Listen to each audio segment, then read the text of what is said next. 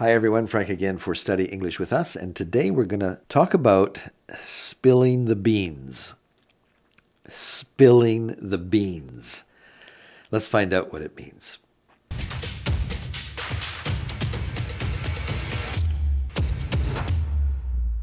Well, this is quite an, uh, an odd idiom spill the beans it doesn't really make any sense at all when you translate it literally, word for word, from English to your language to try and understand what it means.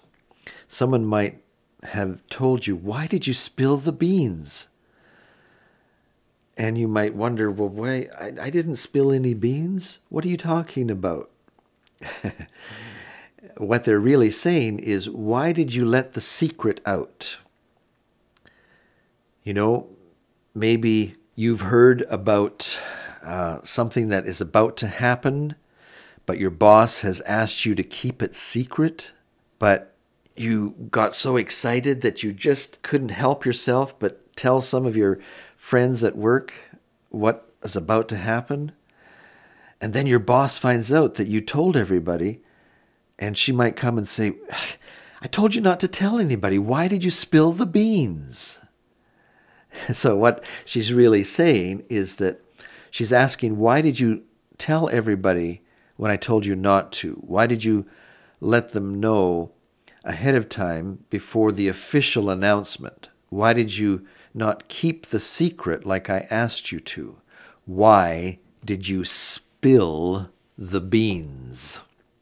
I know it's a difficult uh, one to understand how it could ever have come to be a phrase, spill the beans.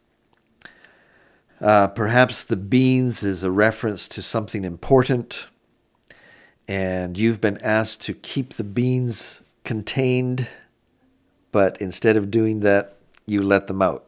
You let out the secret. You spilled the beans. So now, if someone asks you, no, please, I'm, I'm going to tell you this, but please don't spill the beans know that they're asking you to keep the secret. They're going to tell you something important, but don't tell anybody else. Don't spill the beans. That's what they're asking you to do. Don't let anyone else know what I'm about to tell you. Don't spill the beans. Maybe it's a friend who has uh, broken up with their boyfriend and uh, then has started dating somebody else. But you're friends with her boyfriend as well, not just her. And one day you get together for coffee with her old boyfriend, and he starts asking you questions about what's going on, and you let him know, well, you know, she's already started to date someone else. And later your friend finds out what you did.